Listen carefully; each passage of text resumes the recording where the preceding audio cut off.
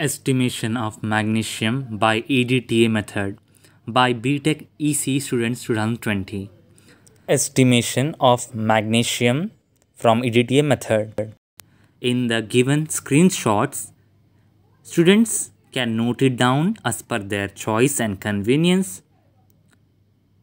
It's just for an example.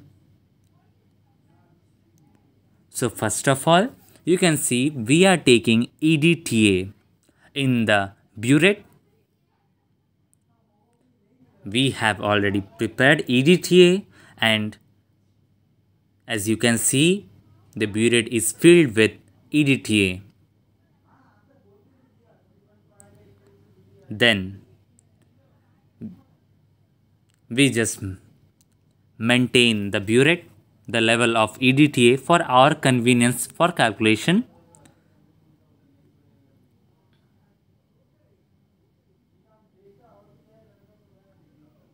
Now, you can see that there is magnesium sulfate solution.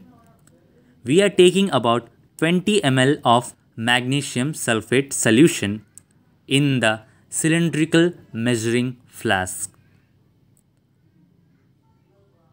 you can see that we are taking about 20 ml of magnesium sulfate solution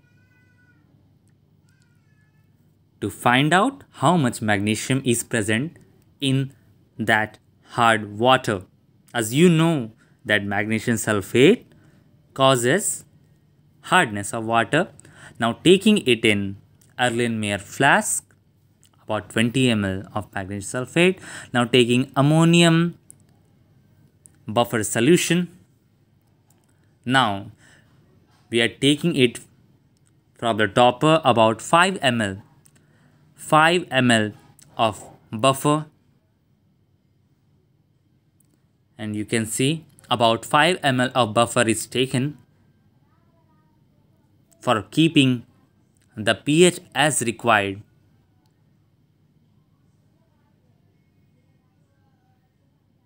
Now, taking it carefully, we are dropping the 5 ml buffer solution in the Erlenmeyer flask in which magnesium sulfate solution is present. Now we are putting few drops of EBT and you can see just in few drops it has turned wine red in color. Now we are starting the stirring process. Gradually we will put the EDTA in the given solution so that we can obtain the desired results.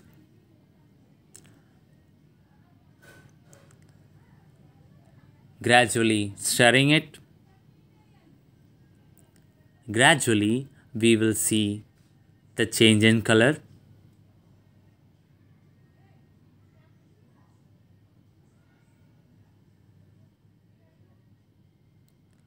And this is how the EDTA, the metal indicator complexes reacts as there is alkali solution present for upholding this process.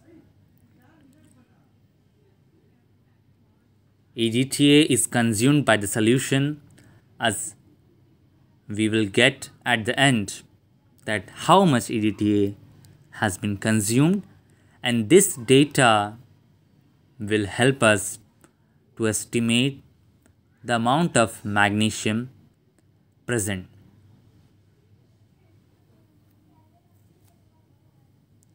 Now you can see gradually the solution has turned blue in color. And this is what we need and we will take down all the data.